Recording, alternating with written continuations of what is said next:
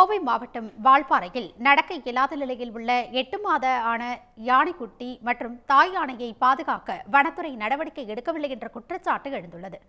வால்பாறையில் Thaimudi estate Anamudi போன்ற இடங்களுக்கு கூட்டமாக வந்த யானைகளில் கால் நடக்க முடியாத நிலையில் உள்ள தனது குட்டியை விட்டு பிரிய முடியாமல் தாய் யானை ஒன்று மூன்று வாரங்களாக தவித்து வருகிறது.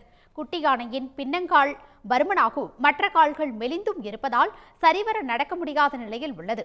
இதனை விட்டு பிரிந்து காட்டுக்குள் செல்வதற்கு மனமில்லாமல் தவிக்கும் தாய் யானை அவ்வப்போது தும்பிக்கையால் தூக்கி விடுவதாகவும் பொதுமக்கள் தெரிவித்துள்ளனர்.